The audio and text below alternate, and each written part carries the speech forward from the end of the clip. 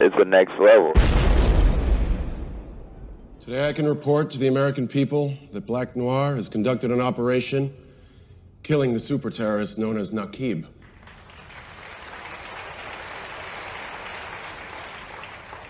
But that doesn't mean sacrifices won't still be made. The proof of that, sadly, lies before us.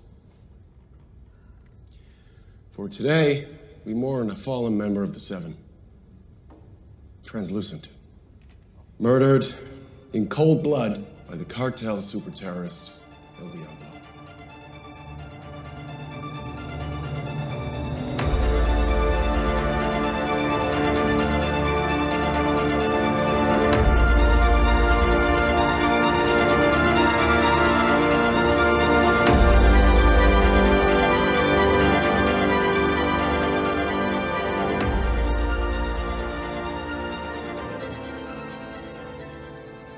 Back to the show, panelers. I'm Mark. And I'm Steve. And Mark, I have to I have to explain myself. I have to correct myself actually that last week when we were talking about episode 10 of Umbrella Academy season 2, I thought that 5 was present at the funeral, but I went back, I rewatched the scene several times, I slowed it down, I paused it, I counted, I looked at faces, I looked at people, and no, 5 is not at that funeral for Ben.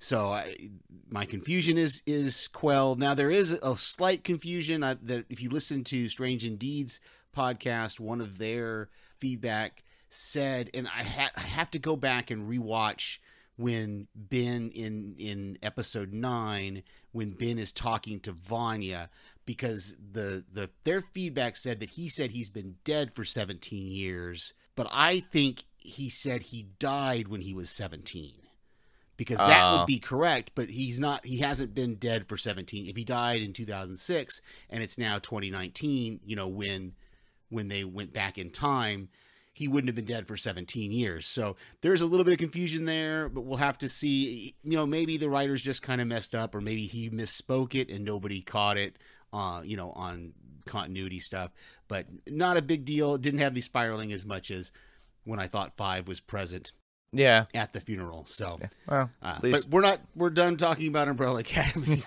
So, Yeah, we're- at least for now. yeah, we're heading on to the boys. And this week we're covering The Boys season 2, episode 1, The Big Ride.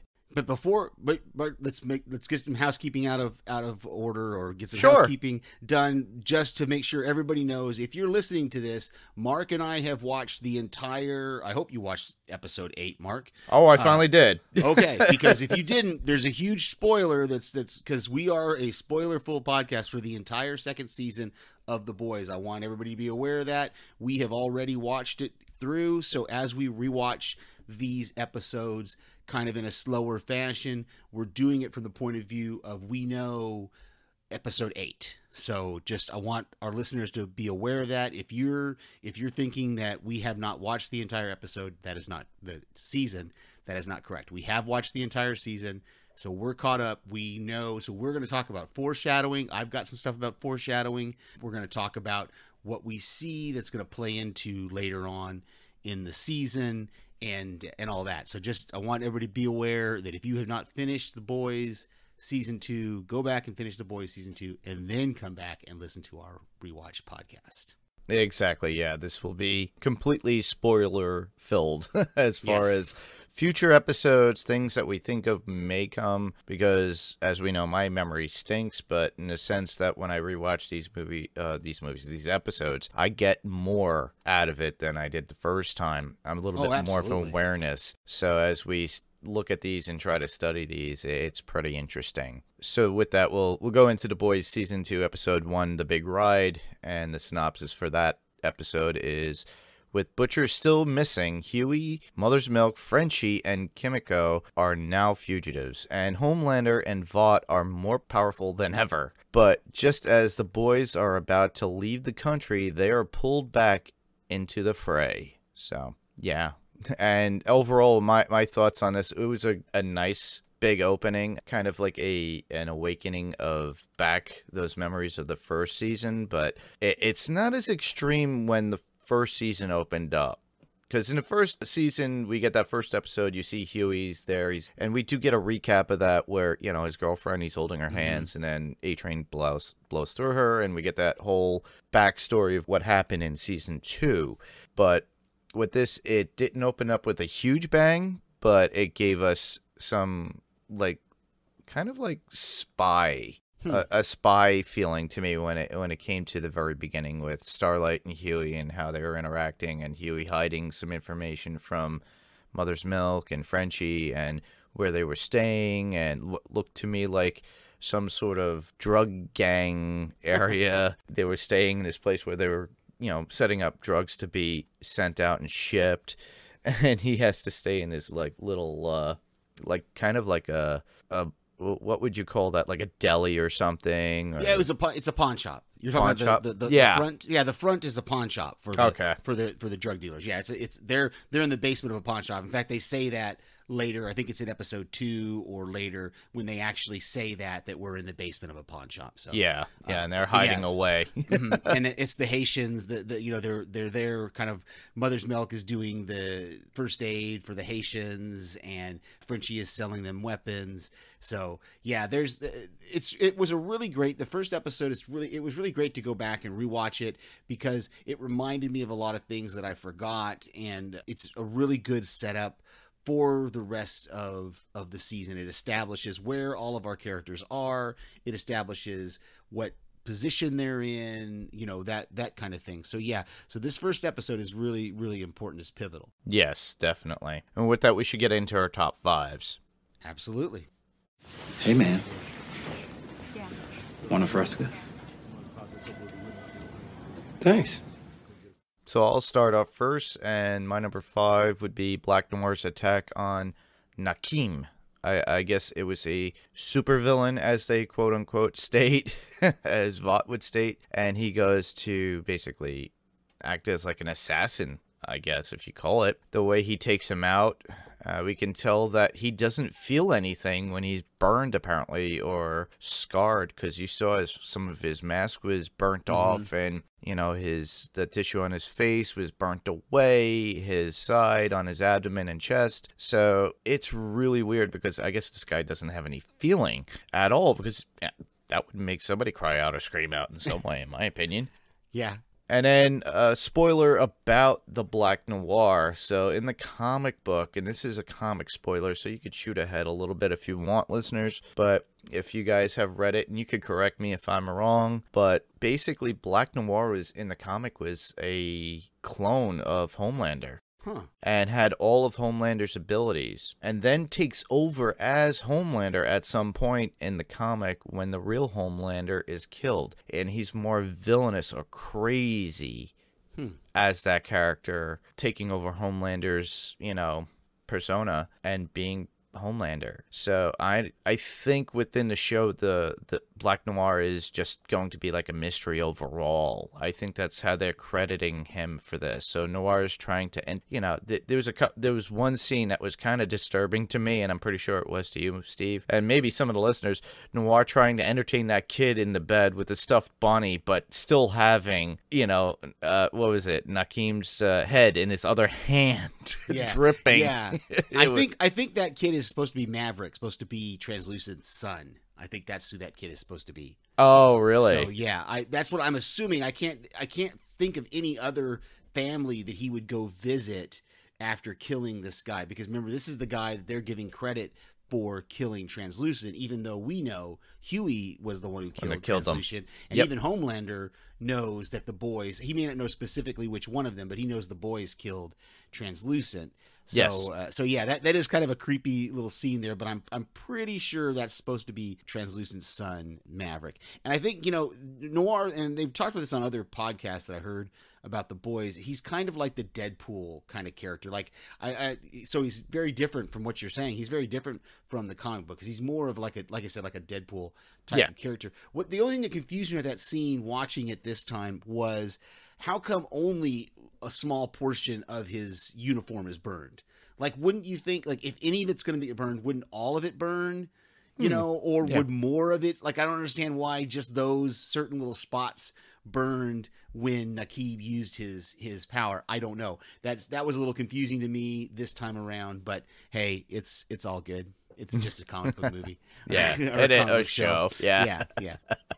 Uh, so my number five is just Translucent's funeral. I, I you know, it's, we see, got Starlight singing, we got Deep drinking at that bar, and then being being cut off. And he sees one of the pictures that they had uh, of Translucent was actually him. He's like, they cut that's that's me, that's my shoulder, that's not that's not Translucent. And uh, so I thought it was great. And and I wondered uh, the one thing that occurred to me watching it this time was, do you think there was actually anything in the casket at all? Because right when they blew him up and they sent him in that that uh, that suitcase or that briefcase that was at the bottom of the ocean that Deep found, Mhm. right, or wherever it was, it was made out of the only thing that like that's how Homelander found it was it was made out of the only thing that that Homelander can't see through. And so he knew there was something in there for him. And so that was the the pieces of Translucent's body. So I wonder if they actually put those in the casket or if the casket was empty. Uh, just a just a fun little thought that occurred to me. Well, my thought was when I saw that, I was like, he's not in there. They could easily Yeah. put an impression of a body, and the the uh, it was like it could be memory foam, and it could just be there. and it's Yeah. like, yeah, we got him. Look, exactly. you can see the yeah. impression. He's not going to be breathing, obviously. So yeah, yeah, exactly. So, but I just thought that was funny, and, and like I said, trans. I thought the other thing that I didn't put in my notes, but Starlight, what was the deal? Why did she have to have a wig? Was the was the hair that much bigger that she had on on stage? Because you know she goes backstage and she takes off the wig and she's got her regular hair underneath it. I was like, it didn't look like the the wig didn't look all that much bigger or fluffier than her regular hair. It made it more poofier if you I think guess. about it. It Okay. like their extensions to make it bigger than a little bit bigger than what it Okay. is. Because when you see her when she gets to civilian clothes, her hair is straighter. It's very thinner to her face. Whereas when you see her on the the moving billboard that she takes a quick look at and is like really, you know, Citizen Starlight and all that. Okay. but you know she she you could see it's a lot poofier and you know and, and accentuates. She's wearing a ton of makeup where when she's on the street she wipes down everything from her. Like a lot of women do. They they wind up taking forever taking off that makeup and uh, i would never be able to be a woman Yeah. or anybody that wears makeup because honestly that that takes a lot of time and i give a lot of women respect for that or guys depending on who you are and what you do but you know honestly you know even actors and actresses that that go out there and have to put this stuff on all the time Yeah. yeah Okay. so my number four would be the deep and his depression of not being part of the seven and being ignored and written off just like you said with the bar scene it's like that's not that's my shoulder you know his drunken spell in the bar and then the the bartender basically kicking him out another at the water park and being arrested i, I think he was doing something a little bit lewd in my opinion with the way he had that water gun but uh, yeah i and then he gets arrested there because of his you know his blowout He's drunk and disorderly. He's he's Oh, drunk big and time. basically. Yeah. So yeah. Yeah, then another super bails him out and gives him a fresca and a way to help himself. And we get to see more of this character as the episode continues and he, you know, he I think he gets the deep involved with therapy and finding more about himself. And that that character is interesting. I'm forgetting his name. Uh, Eagle the Archer. Eagle the Archer, yes, Yeah, yeah, yeah, because he actually talks about uh, an incident of when he was he did something bad. No, it- he what his what his spiral was was that he he responded to a hostage situation like at a grocery store. and Yeah. he didn't have enough arrows. Arrows, yeah. There's only the so many. Yeah, yeah, He, so he didn't do anything bad. He just wasn't able to save. yeah. He wasn't the uh, wasn't bad. So, yeah, yeah. It Yeah. wasn't a bad. He didn't do a bad thing. He just didn't. He wasn't, and that caused him to spiral down, and that's why the church found him. And you know, he he takes an interesting arc through the season until we get to the end of the the the season. So it'll be interesting to track that uh, him throughout the the season this this time. Oh, definitely, especially deep. Yeah, yeah, deep. Yeah. Well, yeah, both of them, Eagle the Archer and Deep, they both take kind of an, an arc in this in this thing, and and uh, and we get to see where Eagle the Archer ends up as well. So. As well as A Train too, because A Train gets Mhm. involved with the church as well at, at a certain point. So, like we Yep. said before, spoilers, listeners. Yeah. So we're gonna go into deep dives a little bit from later episodes, but we will bring those up later on too when Yeah. we cover this. for sure. All right, so my number four is just the the Billy Joel song "Pressure." You know, it's played at the beginning of the episode. It's played, I think we hear a little bit at the end. And uh, you know, I was a huge Billy Joel fan back in the '90s and the the, the mid to late '80s, I think.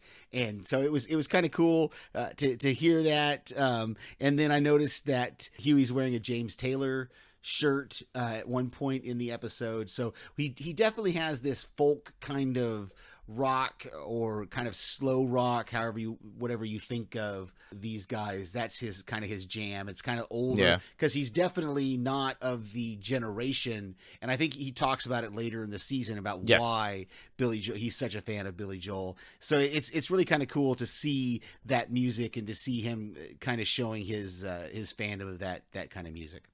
Yeah, just like Hughie, though, I grew up, and at the time when you know Billy Joel was coming around in the late '70s and the '80s and everything, when he was Mhm. very popular. So I grew up on Billy Joel. I'm it's ingrained in who my family is, and we listen to Billy Joel, and we do see more or hear more Billy Joel within the uh, the episodes of the season as Oh well. yeah, I'm gonna do a Billy Joel song watch. That's gonna be part of my. There you go. What I do here is is because I think they feature almost a song every episode. Correct. I, I think so. It's gonna be kind of cool to track those as we go through the the season. And the cool arc about that, of you bringing up the Billy Joel, is that it kind of gives you that feeling of within a scene too. We see that in the very beginning with Hughie, when he's he wakes up, he and you hear the music start, and he's walking through the pawn shop or underneath the pawn shop at that point. At when he's looking at, you know, Mother's Milk pulling a bullet out of a guy's arm and all that, and it's just the pressure of what he has to deal with on a daily basis. And then at at the very end, that ender, ending scene that we get, it plays again. Yeah. So yeah, it has uh, pretty much very importance into what's going on within the scene itself too, which we'll go into later because I believe next episode, and I think it goes follows through into the next, the third episode too, a Billy Joel song as well. Yeah, like I said, I, I think there's a different. If I remember, and there might be one or two where they don't do it, but I think almost every episode has got a Billy Joel song featured. But we'll we'll like I said, I'm going to track that Yeah. as we go along. Yeah. So we're on to what my number three. You're number three, yes sir. Okay, so my number three. Well, that would be Ashley's replacement for Translucent. Uh, Blind Spot is shown to Oh. Homelander, and Homelander points out that he's useless without his ears. So, and then he smacks the guy in the sides of the head with like some harsh fierceness, and it his ears just start gushing blood. He's screaming on the floor, bleeding out. You know, it just renders him making his ears useless, and him stating, "Without your ears." You're just another useless blind person. The look of fear on Ashley's face was so much that you knew she was not sure of how to deal with these people and how stressful it will be. Oh yeah, and I had this I had this in my notes because uh, you know as we go through the season we're going to see Homelander's kind of racism and his anti-handicap stand his his hatred or, or racism toward non-whites and towards the handicap. We're going to see that progress. And Oh, we're yeah. see Stormfront when she plays on it that whole thing you know we get this extreme nationalism when he's when they're looking at the slogans and he goes no i don't care that that whole room full of people preferred saving the world i want saving america because that's the slogan that i want because the americans are the ones that we're here for and so it's it's really you know and i didn't pick up on it i wouldn't have picked up on it in the the first go around because it's it's not subtle but it's but you definitely see it's going to progress as we go through the rest of the season Oh, definitely. And you could you could pick it up and then as soon as we find out what who Stormfront is, mm-hmm. then you Exactly. start you know you're like, "Wow, okay, this was yeah, wh- who she's affiliated with." And like I said, spoilers everybody, but you know, eventually you'll find out there's an underlying thing and I was always suspicious as soon as we saw her. Even in when I my first watch, when I first watched the Mhm. the first 3 episodes, I'm like there's something up with this chick. She's crazy. Yeah. you know, she's I- too I- out there. You know. I admit, I admit, I was, I was fooled for, I was fooled for at least a, a few episodes, and it didn't until it was, you know, fully revealed in whatever episode three, when we start to see her. I mean, I didn't know the extent of how evil she is, but yeah, no, I was fooled. I'll, I'll admit it. I they had me, they had me. I was on board with this character. I'm like, this is cool. She's like kind of a rebel. She's you know talking against Vought, and nobody's saying anything to her. Yeah. And uh, so you know, I I bought into it. I I got into it. Okay, so this is my number three.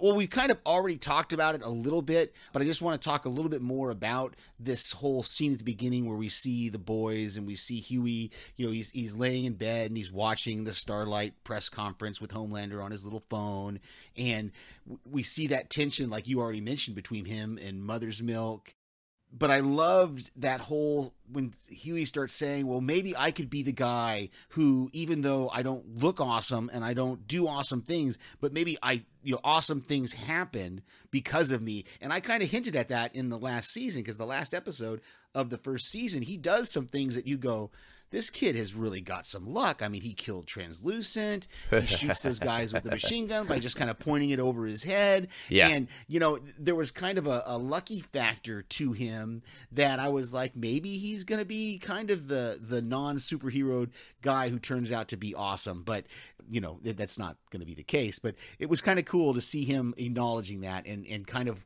wanting to aspire to that because he's and that's another arc that we're going to go through through this season is we're going to see Hughie come to the realization that at least at first he's coming to this realization that he has nowhere else to go besides the boys. And then when we get to the end of the season we're going to see him step out on his own and go no it's time for me to step away. Yes. so it's it's it, it, it, the arcs of these characters i'm really the more and more i'm thinking about it the more and more i'm, I'm going to enjoy this kind of slow rewatch of season two because you know we kind of blazed through it yeah we were watching it week to week but only watching it once or maybe watching it twice each week you didn't get the chance to kind of dive deep into it like we're going to have on this this rewatch so I'm kind of Exactly. excited When the episodes came out, I would only watch it once. I then- watched it. I, I watched the episode once, and then I would watch it up until I got the answer to the TV podcast interviews. And and You're cheating. so, uh, no, you, that's the whole point. Is you listen to the question, you go watch the episode again and get the answer. That's the whole point of it, you know. And uh, so that's what I would do. So I kind of watched them like one and a half times, uh, you know, the first time through. Oh, that's cool. Yeah, I usually it became like not. I wouldn't call it you know water cooler talk or anything, but me and one of the guys I work with, Jason, we got into a whole discussions about it because he was, "Did you watch it?" And I'm like, yeah. Yeah. and then we just talk about it in the truck on the way to a job or on the job, as it were. We have fun with it, and that's the cool thing. He he's really interested in it. And during a job, he made a comment of something that was going on. It was something strictly out of Billy Butcher's mouth, and I said, and the other two guys we worked with were like, "Wait, what?" I'm like, "Billy Butcher," and Jesus like, "See, Mark got it. He's watching the boys." nice, nice. so this becomes like one of those cool shows that you have to watch, and only those select few that do watch mm-hmm. it get to talk Exactly. about it and have fun with it. You know. Exactly. Yep. So on to my number two. You're number two. And that would be Gecko using his powers to get thrills out of anyone that wants to cut off pieces of him or his limbs. Uh, some sort of twisted sexual uh, BDSM thing that he does fantasy for for people for money. And the you know that guy was just hacking at that arm, and it was just like so sick. And Starlight filming it, and that's her way of trying to use that as leverage to get what she needs out of Vought because you know, Gecko works in, even though he's a nobody there, but he's able to get what she wants, which is Compound V. And, you know, and the, the one thing that he does, he says at the very end of that particular scene, an extra grand and you could cut off my penis. Yeah. Uh, and that, that was really creepy. Yeah, and the guy's like, "Where's where's the nearest UTM?" Yeah, I had this in my notes also with with Gecko and just that we we get to we're seeing a side of Starlight that we didn't see in the first season. And again, I'm gonna I keep coming back to this. We're gonna see these character arcs throughout this season Yeah. because she uses that video to blackmail him and but even then when they're talking in the diner she just sounds like she is so disillusioned and that she's just given up on any nobody's good everybody does bad things and it just it, it hurt me a little bit to see that starlight has kind of lost this you know the the brightness and the positivity that she kind of had in the first season and that she kind of got from Hughie and and so it's it's uh yeah it's another character arc that we're going to see her go through and even when she gets close to the end of the season we're going to see her turn to some kind of dark dark stuff Yeah. So my number two is we already talked again a little bit about Eagle the Archer, but uh, I want to kind of talk a little bit about this and the Church of the Collective. We don't have it called that in this episode. We don't actually see it until the next episode when Deep is filling out that little workbook he has. But this this whole idea of this cult that this woman and she's like no i'm not a I, what did he say i think he said therapy and she said no it's not therapy it's something else and then the whole fresca thing which i don't think if i remember correctly the fresca thing doesn't even get explained anywhere Anywhere at all. But it comes up season. so much, though. almost every episode we got somebody from the church of collective you want a fresca like No, even a deep with with A Yeah. Train. Yeah. you want a Yeah? It's like- exactly, exactly. And I didn't even know they. I didn't even know Fresca was still around. You know, but anyway, that's Yeah. a whole other thing. I guess they bought. They must have bought some advertising here. But, uh, exactly. Yeah, so it's it's really kind of cool. But of course, she tempts him with the the fact that she can get him back into the seven, and then there's that whole line when when Eagle is is kind of t- making his statement to Deep. You can see her in the background mouthing the words, so you can definitely tell that that what Eagle is saying is what he's been told to say, or what he's been programmed to say. Programmed, yeah. how- yeah, however you want to put it with cults, you know. And it just Well, it's so whew. Yeah. That's what this is, is pretty much like almost like a little cult that they could manipulate whatever supe that they need to do it for whatever Yeah, they need, exactly. you know? hmm Yeah. And on to my number one. Yes. That quick. so yeah, that would be the introduction, uh, the actual introduction of Stormfront. You know, she is just over the top, and we find out a lot about her later on and her underlying, you know, causes, like, or what she's there for. And she's brought into the Seven without Homelander's approval, which really pisses him off in some ways, you know. Ashley went over his head with the uh, with with the CEO Edgar by doing this. No, no, it- no. Stan Oh, this was Edgar. Yeah, no, this this was was Edgar. all by himself. Yeah, she had. Yeah, Ashley had nothing to do with Stormfront. And then actually Homelander confronts Edgar about this. Mm-hmm. Yeah. Yeah. and it's that's a crazy. That's another one of those crazy scenes where we've never seen Homelander back down from somebody. Yeah, yeah, and, he it shows of backed down. He kind of backs down. So and it shows that how the CEO doesn't really care for him. He's like, I don't Mhm. care for what you think. This, yeah, I'm in charge. Right. It's like he's a true puppet master of these supes, and he knows what the hell he's doing. And you know, Madeline was just there originally to control the supes, from what we know. mm-hmm. and you know with stormfront uh not stormfront uh homelander confronting edgar it you know you you see that and he backs down and that and i just love giancarlo esposito he was Yeah. great as the ceo of vought and listeners if you don't remember him you will remember him when i say breaking bad and he was he, he's such a great actor too and we can also see him coming at the end of october in the mandalorian if you remember yes. so yes. you know, keep lookout for uh, Giancarlo Esposito. That was all of your number one. Yes, Okay, uh, so my number one is just we get the first head popping scene. I totally forgot that this was in episode one. I Yeah. thought this was in episode two, so I wasn't. I was totally not expecting it when I saw the scene start, and I was like, "Wait a minute, this is the head popping scene." And when we see Raynor's head explode, Yep. and now and again, uh, spoiler full. So if you have not, if you have not watched all the way through to episode eight, I am sorry. I'm going to spoil something for you. We That's find out in huge. Episode eight that Councilwoman Neuman is the one who's popping heads, and I would I would have loved for them in episode eight to have like shown us at least given us like her perspective on this scene or on the scene in the boardroom or something to to kind of show a I wish that maybe next season we'll get it and they'll, they'll kind of you know recap it for us and show us because this is the like I understand she's actually in the room mm-hmm. there i i at the end but where was she at in this scene? How did she know what Raynor was saying? How did she you know what was she doing? Was she on a building somewhere with one of those voice things did she have a, a bug on Raynor I don't know. I kind of want to know how she knew Raynor was about to give this up, and so she popped popped her head. But uh, but yeah, it just uh, it blew me away seeing it again uh, for the very first time in this episode because I was like, oh man, yeah. Yeah. Councilwoman Neuman was around. And what was cool is, and obviously this is something you would only notice on a rewatch that you've already watched the whole season, is immediately after that head popping scene, it cuts to the next scene, and we have.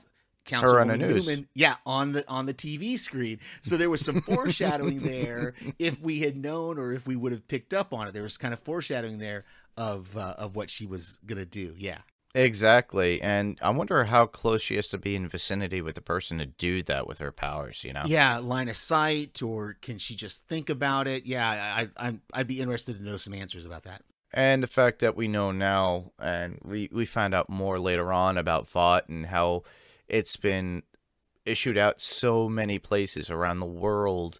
So even within America itself, you had people who have these powers because whoever took in as an experiment or something, they obtain these powers, but never were brought in as a supe.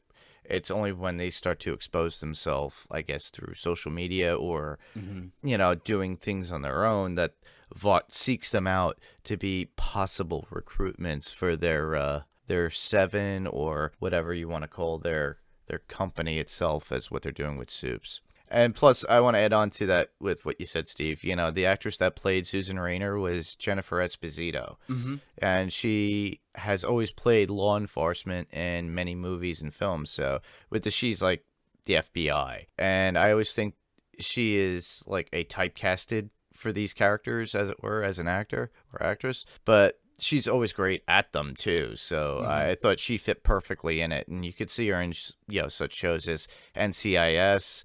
Blue Bloods, and if you remember Taxi, the movie with Jimmy Fallon and Queen Latifah. Oh wow, I didn't know that. Yeah, Yeah, that's kind of so- cool. Yeah, she she always plays these kind of characters. So, Mm-hmm. and she's a really good actress too. Yeah, yeah. So we've got some notes here. Yes, uh, I'll start off with the first one. Uh, that would be the capitalizing on the supes. All the shirts, like the plates, glassware, everything, anything with an image of the supes is on everything, plastered all over the place. We see that more so now in this episode than any other episode. Like the comic books that Hughie passes in the pawn shop as he's walking out, you could see them on comic books that they have. Mm-hmm. We see it more as they leave Translucent's funeral. Mm-hmm. And you see everybody with a 8x10 glossy and they want it signed like you're at a convention or something. Plus, you can see the guy that's like, oh, yeah, you got two for $74. I'm like, really? That's a lot of money for two t shirts of something that you just printed yourself, pal. But they had everything. And I saw you saw that too. It was something for Translucent's uh, funeral. It was like a, a dish, like di- dinner set ware or something like that. Yeah, that. gone but not forgotten. The slogan, or something, or not see, or not seen but not forgotten, or something like that. I Yeah. can't remember how it how it was. Gone, but yeah, not seen or something. Yeah. Yeah, we do see a glass of an image of a supe during the noir scene as well. Like when uh, the woman is, I, I think her throat gets cut or something, and you see the blood dripping down or drip falling down into the glass itself, filling it. And I don't know if it was Nakim, his image that was on it, or if it was a popular supe. I couldn't really get a really Right. good good look at it, but I think it was Nakim. I'm really not sure. Well, in that whole thing, in that whole scene, you know, the beginning of that scene before Noir comes in the room, they're like they're like looking at T-shirts of Yes. Nakeem. They're they're kind of, what's your slogan gonna be? What's your what's your you know your catchphrase gonna be? And he's like, "Burn in truth." That'll be my my catchphrase because he says something first, and the other guy's like, "No, that's too long. It's got to be shorter." And Yeah. so you know he he sees that, and he only, he only gets to say it once. He says it to Noir, and then Noir cuts his head off. So uh, uh, yeah, really really cool. Um, let's see. We've talked about some of mine already. Homelander heating up and then drinking Stillwell's uh, breast milk from the the fridge. Uh, this whole this is another one of those things that we're gonna see. Oh, we're It's gonna, see later on again. There's some Uh, even gonna more, major creepy- creepiness. Yeah, more creepy stuff going on with Homelander. Yeah, definitely. My other note would be Kimiko is learning English apparently, and it seems that Hughie is teaching her with uh, grade school books. And we see her practicing her writing within a book itself, like her B's and everything, Mhm. getting letters out. So it's her way of trying to learn more. Yeah. And it, and eventually, uh, later on, actually, I got into a discussion with my friend Jason about this. He and I were talking about her learning or knowing sign language, and then Frenchie starting to learn himself because he wants to be able to communicate with her because right, he but loves remember, her so it's much. not it's not actual sign language. It's their personal. It's like a private one. Yes. She and her brother did. It's not the the real sign language. Uh, that's out there, so that's why Frenchie doesn't know it, and that's why he can't. He's got to get taught it. So yeah, really, really cool. One of my other ones that we haven't talked about is Kimiko finding that origami little folded up thing, and I'm sure Mhm. that was the moment when she realized her brother was the one who was the supe with the with the telekinesis power and Yep. uh, you know i love that she's trying to explain it to frenchie and she can't because she doesn't know the word brother so she's Yes. like boy girl boy girl and it's not going to be till the next episode that we're going to see the reveal of that it's her brother but uh, but yeah that was really really cool I, I did not notice that the first time around so seeing her find that little folded up piece of paper i was like oh that's how why she was saying these things or trying to convince the guys of these things Hmm. Very true. Last one I would have would be the reenactment of Madeline Stillwell's quote unquote murder by Billy. And as being the murderer, which he wasn't technically, it was Mhm. Homelander that burns through her eye sockets. And then Billy is just happens to be one that, you know, blows up the house. And Right. oddly enough that the, the baby shows up alive, what, miles away? I'm glad you mentioned that because that was the big thing I remember at the beginning of the season. I catching that on the newscast. That I was really glad that we got to hear that the baby survived because Yes. that that was a that was a thing that that we didn't know at the end of last season because it was so dark. And I was like, man, if Homelander killed that baby, that's crazy. You know, but no, he didn't. So I, I wonder if that baby's going to come into play later. If it's just now because Stillwell's gone and everything else is pushed aside. So probably won't. We probably won't get any other mention of it. But yeah, I'm glad you bring that up. Yeah, the last one I've got here that we haven't already talked about is just that Stan Edgar, when he's talking to Homelander, he mentions some of the first superheroes when he's talking about Vought, and he mentions Soldier Boy. So I thought that was that's kind of cool because uh, because of some spoilers we'll talk about when we get to the news section. Yes. And for quotes, I only have one. You already pretty much mentioned it, but it would be Nakim going, maybe, quote unquote, by the power of my holy fire. And then his friend goes, that's too wordy. We want a catchphrase that is catchy. And then he goes, how about burn in truth? Mm-hmm. He goes, oh, that is a good catchphrase. And then, you know, that was, and that was before they got killed. right, right. Yeah, I'm glad you wrote that down because I couldn't remember what the long phrase was that he was trying to think. Oh, that's the last thing I had is just that that that last moment we get of Butcher's back, and and you know I didn't write any quotes down, but maybe the maybe the biggest one of this of this whole episode is Butcher saying, "Daddy's home." you know. Oh yeah, yeah, and he they're definitely is back. So Butcher's back. now we should move on to episode two. Sure. Where should I start? Are you ready to meet the newest member of the Seven? See it here first. WFAK, KMFT, WDCS. She's the newest member of the Seven, and she's taking America by storm. From Portland to Seattle, watch what comes next. KMFT. Amazing. You want to give the Absolutely. So, season two, episode two is proper preparation and planning. The synopsis that IMDb gives us is that Butcher is back with the boys, but tensions flare with Hughie. Homelander spends quality time with his new family. Starlight and Stormfront bond at a press junket, and the boys hunt down a super terrorist with a startling identity. These, you know, it's nice to see some of these not giving away too much yes? Sometimes these IMDb synopses can be super spoilery, and uh, so it, I would have I would have not been surprised for the synopsis to say, you know, finding out that the super terrorist is Kimiko's brother. I would not have been surprised at all for that to come. But in general, you know, I really like this second episode. Again, it's a it's another one that I really enjoyed watching. There's a lot setting up for the next episode and really buying us in because I think it's gonna be episode four. It's either gonna be episode three or four. When maybe it is the end of episode three when we see Stormfront and we we get to find out how evil she really is, and we get to see that that little the kind of back and forth between her and Homelander kind of starts in the, in that third episode. So there's a lot of things that episode two is setting up for us going down the rest of the season. Oh, definitely. Hey, man. Yeah. Want a fresca? Thanks so we should head into our top fives. Absolutely. Actually. So my my number five is just at the beginning, that beginning flashback with Butcher and finding out that he's left in front of that that restaurant by by Homelander, and we don't know. We're not going to find out until later why Homelander kept him alive. But I just I, I loved him trying to remember everything he could about that house and coming in there and, and getting a crayon and, and picking up that that piece of paper and writing as much as he could. He's like the trees, the the size of the house, the kind of area, all that kind of stuff.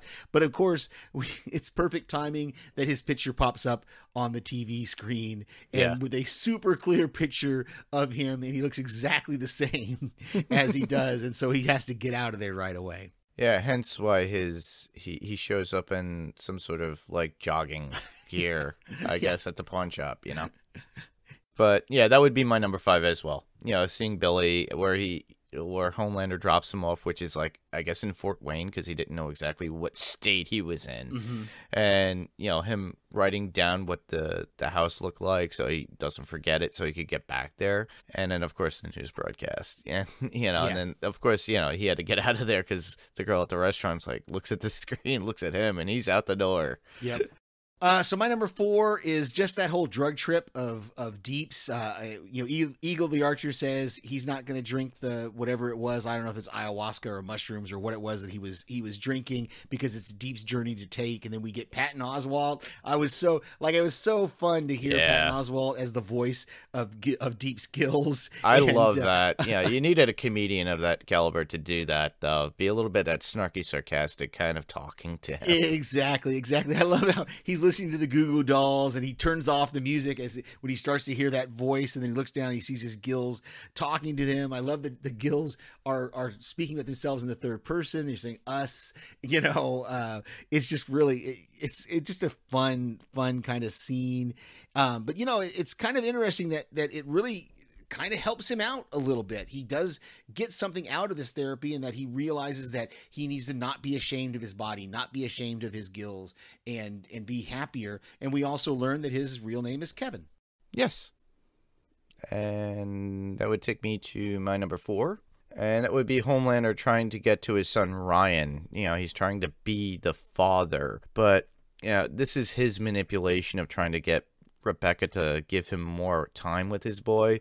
I don't think he really is invested in the kid. I think Homelander is afraid of the kid. And this came up with a conversation with my friend Jason about this. He and I believe that the kid is far more stronger than Homelander, and that's why Homelander is afraid of him. So the kid could literally kill Homelander if he wanted to. So I think that's why, if you look at the course of the season, and him trying to help out or train the kid or manipulate him in some way is as if like what the company was doing with Homelander and mm-hmm. manipulating mm-hmm. him. So he's trying to do it for his own needs as well, also to stop the kid from killing him because he's already seen what would happen if he lashes out at people or something. Interesting theory. Yeah, that that would be kind of interesting to know whether Ryan is stronger than Homelander, or you know, if maybe just eh, maybe he won't be stronger than Homelander until he gets older, maybe. So that is that is an interesting theory. I don't know if we're going to get to see it played out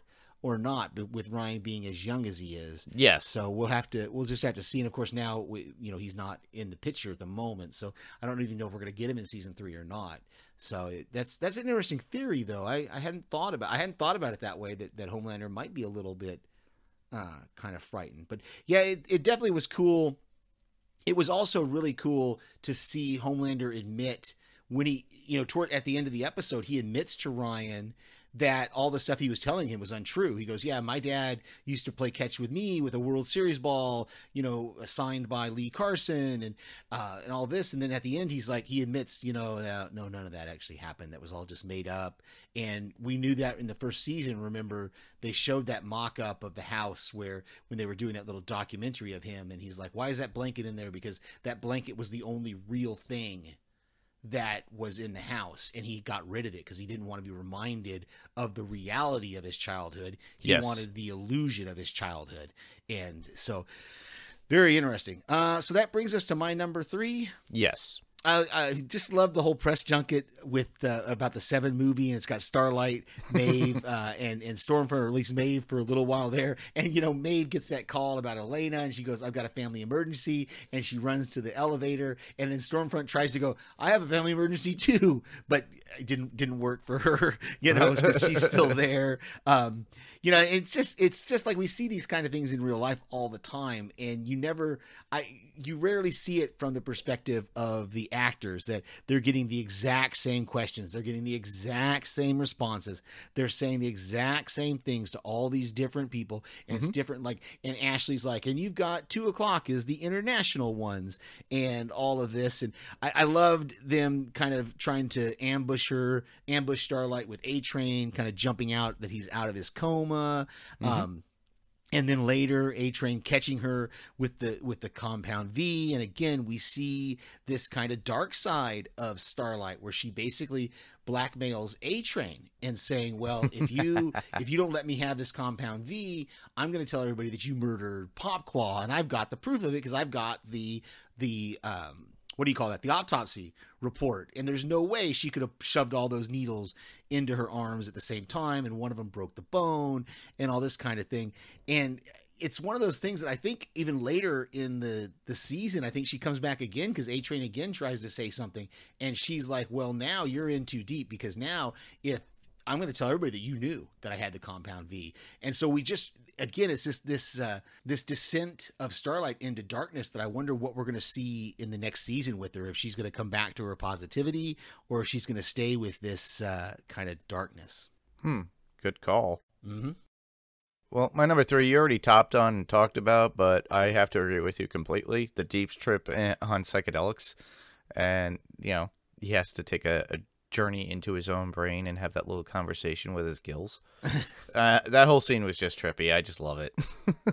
Very cool. So my number two is just seeing the we as we see that aerial shot of the walls around Becca and Ryan's compound. It's kind of like a Truman Show kind of thing going on. I totally missed this the the first time I I watched these through. It wasn't until I listened to TV podcast uh, industries and they talked about this that I went, oh, that's what's going on there. Because and like they reveal and we see that she drives to the gate, but it's not a gate to go in somewhere. It's a gate to go out. mm-hmm. And then she talks to the doctor on the phone. And the thing that that that bugged me though, watching it through this time and seeing it, is you know if if he has a piano teacher, that means they have people within those gates who are are specifically there to kind of make him think it's authentic. So Yeah. how come they didn't recruit some people, some families to be his friends? Why didn't they have him in like a small you know one room schoolhouse or something like that to where he was with people his like it, just it it doesn't it, there's a disconnect for me the fact that why would they have this piano teacher but not have anybody anybody else why wouldn't Well- they if they're going to have socialization with this piano teacher why wouldn't they have socialization I you know think they have families around because you, you see more houses around there within that overlook. So I wouldn't be surprised if they had other families. Maybe they kept him separated because of his powers. Maybe they knew the fact that, you know, he is Homelander's child. He could be a little bit dangerous. So him and around other kids and he'll lash out. So that that's the only thing I could I could think of that would cause them to do something like that. Kind of how they treated Homelander too as a child. Remember? They but that's what I, I that's what I'm saying is it, you would think that they would have corrected their mistakes with Homelander and they would have created like because we get the impression later on in the season when he sees the fact that this is this compound that he lashes out as his mom and he goes, "Well, you're just lying to me." I wish, I guess again, it's one of those things that I'm saying. I wish they had shown us more Yeah. of this Yeah. of his life in this compound because I get that that they could take him up in the air and show him that hey, you're living in this walled community and everybody who's your friend who are your friends is a lie. I I wanted them to show us more. I wanted them to show us more of his existence in that compound because the way they made it seem like was that the only people that he interacted with was his mom and his piano teacher. Mm. Very I, true. I I needed them to show me more of what was going on Yeah, so get that it. I could believe I could be it's more believable that that he's going to be so upset when he finds out that it's all a lie. Maybe You know, they had filmed it, and maybe they just because Yeah. of budgetary and time. Maybe there's some deleted scenes or something that, that show it. You know, maybe they just decided it wasn't something that we needed. Uh, but anyway, yeah, it was just it was just a little thing. Yeah. So that would lead me to my number two, and that would be Butcher getting Grace back into the fold with the idea that he quote unquote knows who killed Susan Raynor, even though he, doesn't. really doesn't. But it's his way of like because when he when he approached Grace in the parking garage, she was ready to like tell all. She goes, "I'm just gonna go across the street to that whatever it was, a church or something, and tell the 26 F- uh, agents that are out there about you being here." And then he pleads with her, and then goes on, and and he goes, "What? You think I killed her?" And that was supposed to be about Madeline.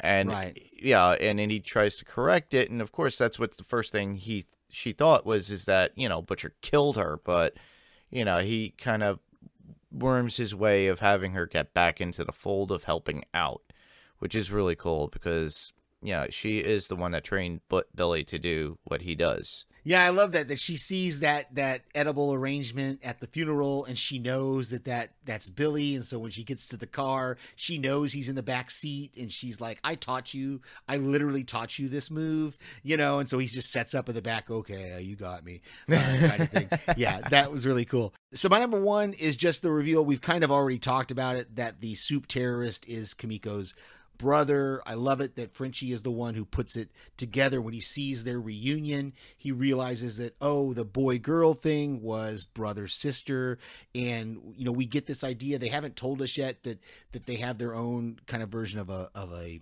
sign language, but then she finds out that he's been basically radicalized by Shining Light, and he's actually there. He is there as a super terrorist to attack America, to kill Americans because of what they did to Shining Light. And she, you know, then he attacks her and she ends up choking him out just before the boys catch up to them and throw him in the van. Yeah, yeah, and that was uh, an interesting scene, the the chase scene though. Mm-hmm. Uh, we'll go into that's in my notes, but we'll bring it up now for the fact that when they chase uh, Kimiko's brother through, they it's almost like uh, a party city where they have Mhm. like costumes and everything, but there's all this stuff. Everything is a costume of a supe. They have standees. Everything's getting blown out of the way, and they destroy that place like crazy. I just thought that was a funny scene to see, especially with Frenchie following her through everything as well. So I thought that was pretty cool. to top on top of that. My number one, you already mentioned it with A Train coming back, but while on the set, while Stormfront and, and Starlight were doing all their campaigning, as it were, for Vought about being, you know, uh, of course Maeve wasn't there, but that's who was supposed to be there for, you know, three women being within the seven. So now they're kind of evening it out. Everything was about girl power, you know, and they were trying to push this, and you know, they kept pressuring Starlight. Are you single? Yes, I'm single. Yes, I'm single. Da da da da da. And you could see Stormfront going, "What? Uh, okay, Yeah. something's not right there." You know, and then A Train calling her out at her place because after that, uh, before that, there was this exchange of the Compound V because she hid it in her boot, and then Stormfront she tried to hide it from Stormfront, and then when Well, Storm- no, that's that's that convenient. She didn't put it in her boot because she realized that A Train saw her, so she had it in her. She was holding it in her And- hand. yes. and and Stormfront had. I've got this in my notes. Stormfront kind of conveniently left her bag there, hanging on the the chair, so she's able to stuff it into Stormfront's bag there before A Train checks her boot. And I Mm-hmm. Did notice when you see when you see Stormfront come and get that bag, and she throws it over her shoulder. As she's walking away, you can see the little pink pouch sticking out of one of the pockets of her bag. So we Yes. do know for sure that that's what Starlight did with it. Was she put it into Stormfront's bag, and then later she's going to retrieve it from uh, A-Train. said bag. No, Starlight's going to retrieve it from the bag, and then and, then A Train find it comes to her place. and Yes. sees her with the pouch and takes it from her. Yes. then she takes it back from him. So Yeah, and no, then go yeah, yeah, and then it goes into that whole scene that we you already talked about, Mm-hmm. but you know, the fact that we do see Starlight grow a set of balls. I'm sorry saying it that way, but she did. She she was like ready to call him out, put out all the information. She would just go to the media and state exactly what happened to Popclaw, what he did to drive her to do those things, and that he was the cause, how he's been using Compound V. The fact that she was just like, all right, she could just be as dark as the rest of them, you know, Yeah. these supes, which Yeah. makes me think, you know, it's like out of everybody, you know, Butcher, we know he's he's a sob. Mm-hmm. he's he's dark and evil. Hughie's not so innocent himself. Neither is Starlight. A lot of the obviously all the supes have like something, you know, dirty laundry. And the only two people that I really enjoy throughout the series that I think are really decent people overall, regardless of the misdeeds that they're doing, would be Frenchie and Mother's Milk. Mhm. They're really, you know, especially Frenchie. He has a true heart to himself. Just look at the way he he he reacts to Kimiko, how he loves her and does everything. And then Mother's Milk, and he just loves his kids and he misses them. You know, he got really upset when they she he was told that his daughter was starting soccer or something. Mhm. And Yeah. yeah, it, it's just like he lost a lot of what was going on in his life. Well, yeah, and he's putting together that he's putting together that little house for his daughter so that he can give it to her, and th- that's his way of connecting with her. So yeah, yeah, for sure. It's it's you definitely hadn't ev- ever thought about it until you bring that up. But yeah, Frenchie and Mother's Milk are really the purest of intentions here. Yeah. you know, and even Hughie, Hughie kind of is, but at the same time, Hughie's starting to go down a path as well. So interesting. So we've got a, a few notes here. Mhm. Let me uh, let me say my, we have already talked about Grace. There we saw the the giant poster on the wall of Maeve with the Saving America slogan. I thought that was kind of interesting. and we learned that Maeve's real name or her name in real life is Maggie Shaw because Mhm. that's what she says to Elena. She says Maggie Shaw is still your emergency contact. Mm-hmm. Yeah, we find out her real name. Yeah. Yeah, even though Homelander doesn't really have a real name, if you Right. think about it. No, he doesn't. We had not heard one anyway. So Yeah. Well, I have a couple. The multiple takes make me laugh on promoting Stormfront on TV. You can mm-hmm. see how much she just can't stand Vought, even though she's part of it. yeah, yeah. Our Billy Joel watch for this this week is the the mo- the song Second Wind, and we also get a glimpse of the the original video, the music video for it that was shown. Yep, which my brother and cousins were in that video when they filmed it for uh, Second Wind for Billy Joel when it originally came out for its his greatest hits album, which Very cool. wasn't even uh, a you know he wanted to put an original track, so he did that one song, recorded it. They filmed it on Staten Island at Tottenville High School, and it was the graduation scene. So my cousins Larry and Christine were in there, as well as my brother, and I think my sister was there too because they wanted other graduates, so they had an open roll call. And it was just the them just in the audience, and then they throw up their you know hats and everything, but they had an overall shot, so they were there, and I I thought it was pretty cool. Yeah, And I and I love that song. You know, it's one of those was one of those odd songs. I when it initially came out and I was a kid, I thought it was going to be an original song on an original album. I didn't Mhm. realize it was on a greatest hits album. Hmm. uh, lastly, what I have would be Talking Heads ending out the episode with Hughie getting slugged by Billy. you know, a psycho killer playing as the episode and scene fades away. Billy telling Hughie not to get in the way of him and his old lady. yeah. I was really glad that Hughie went with went back, got back into the van. I, I was glad glad that Mother's Milk kind of called out to him uh, to get him back in the van. Uh, I've got a couple more that we haven't already talked about, and uh, that's just that uh, more foreshadowing of the way Stormfront.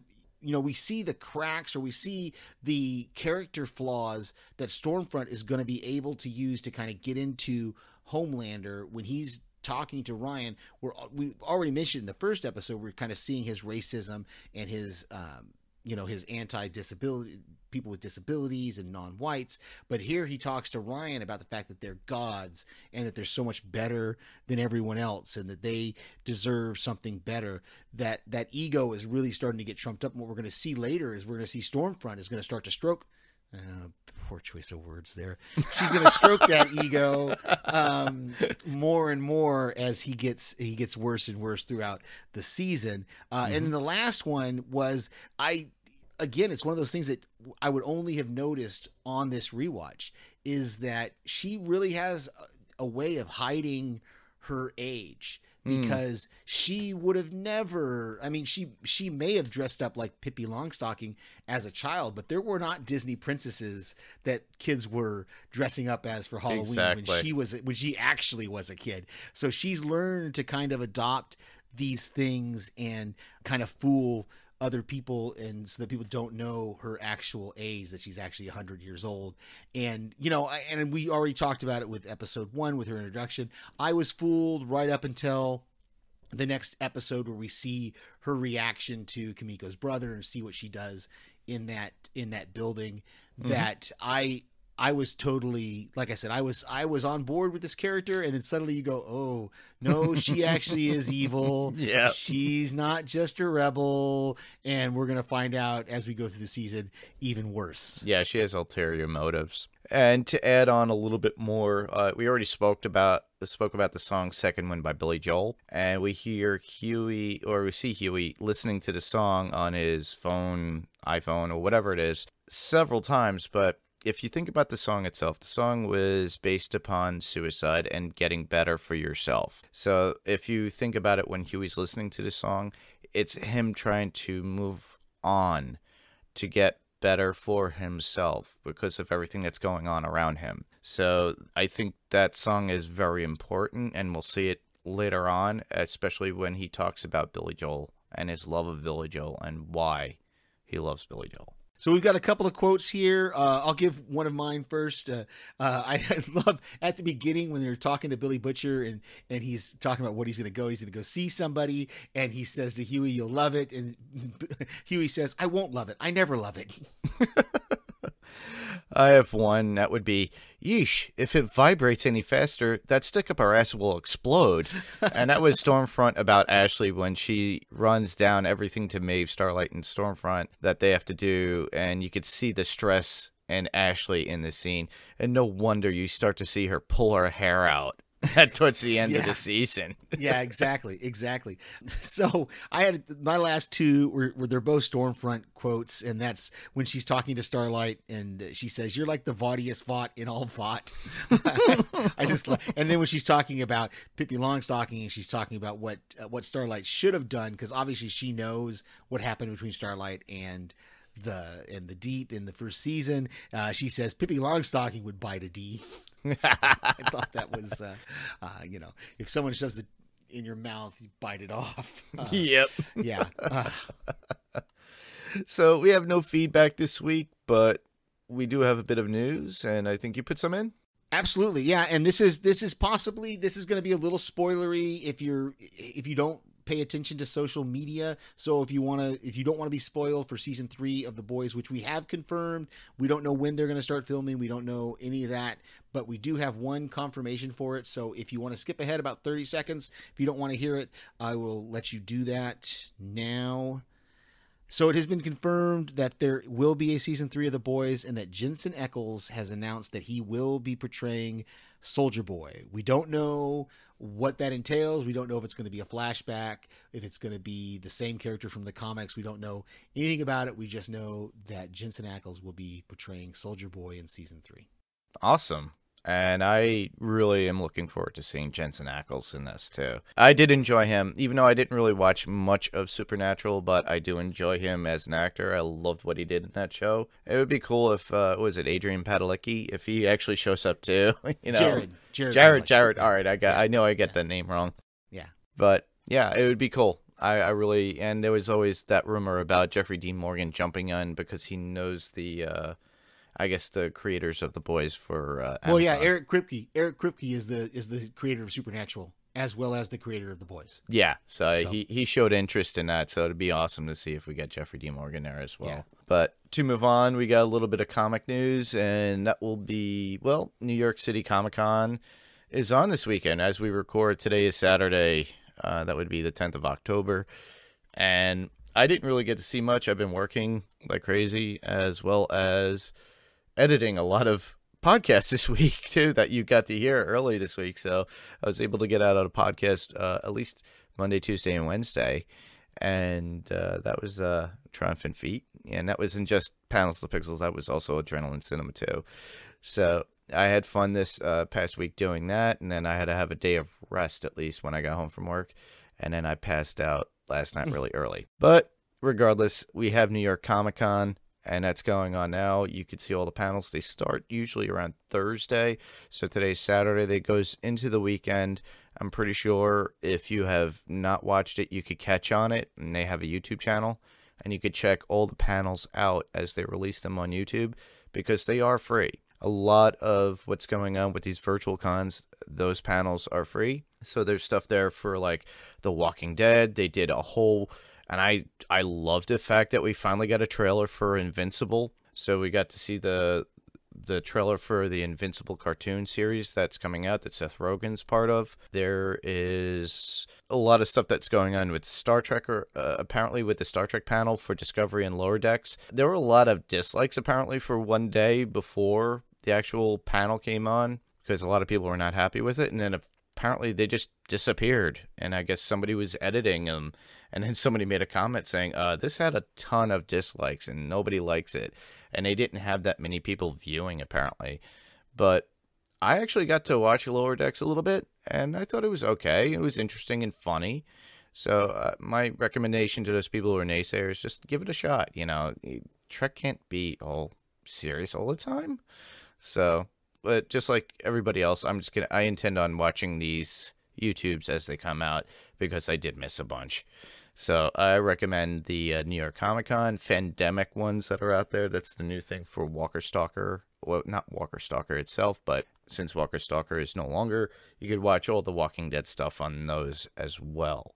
So I I recommend that. So now we should move on to podcast recommendations. So what do you have, Steve? Absolutely. Um, Strange Indeed with Rima and Paik. They are going to be covering The Haunting of Bly Manor on Netflix. I sent, I just sent in my voicemail for the first episode. They are going to be watching one episode a week of The Haunting of Bly Manor. So if you're interested in that, check it out. They also do something that we need to start doing this, Mark. We keep forgetting, or at least I keep forgetting. I don't know if he forget it or just, but they they have a spoiler post. They have a post on their Facebook page for every episode since they've already all dropped so people can put their their feedback into each individual episode even though they haven't watched it yet and so then they don't get spoiled about it because they don't look at those those posts until it's time to watch the episode might be Ah. interesting might be a thought to do for the boys going forward but uh, but yeah so check out strange indeed with and Paik uh, haunting of bly manor on netflix and also tv podcast industries will be continuing their coverage of lovecraft country i think they have two episodes of that left. I think I just saw a post from Derek saying that they got their screener for the penultimate episode this weekend. So Awesome. that'll be that'll be out on Sunday, and then the last episode will be next Sunday. Oh, cool. And I send I send voicemails to them as well. All right. Well, I only have two this week. Uh, first one would be Michael Rosenbaum, and I've mentioned it before, but the most recent episode of Inside of You, they talk to Dax Shepard, and they go into Dax's falling out of sobriety for like a moment and what he went through, and going through and getting inside the details of Dax and how he, you know, how it affected his marriage with uh, Kristen. And I thought it was a really good podcast. I highly recommend it. Lastly, I would be Run for Your Lives with Daphne and Paik on the Pirate Core Entertainment Network. And they this week's episode it just dropped. I tried to start listening to it, but this one is a little bit close to me because it's a quiet place, and where they filmed a quiet place was literally fifteen hundred feet from my house.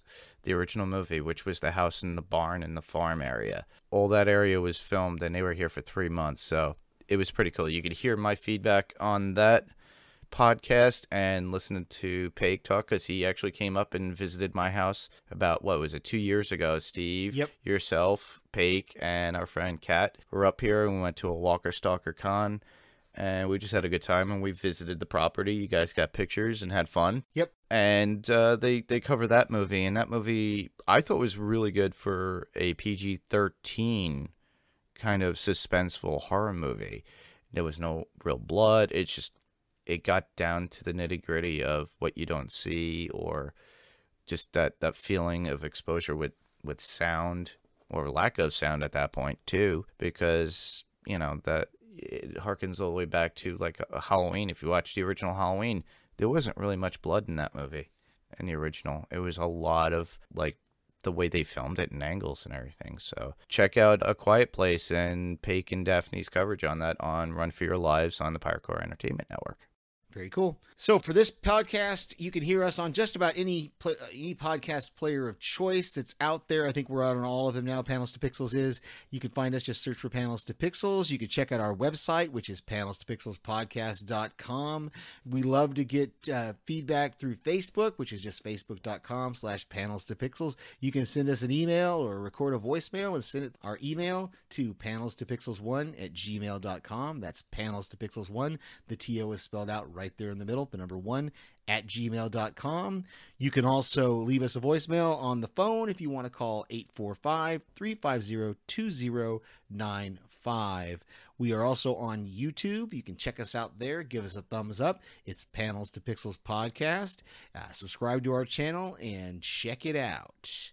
Next week, we will be doing episode three of the second season of The Boys. I don't, we might squeeze in two. We'll see. We'll let you know on Facebook whether we're doing just episode three or whether we're going to do episode three and four. But again, you can send us feedback for any episode throughout the season because we have watched the whole season, and this is going to be a spoiler full rewatch of season two of The Boys. Exactly.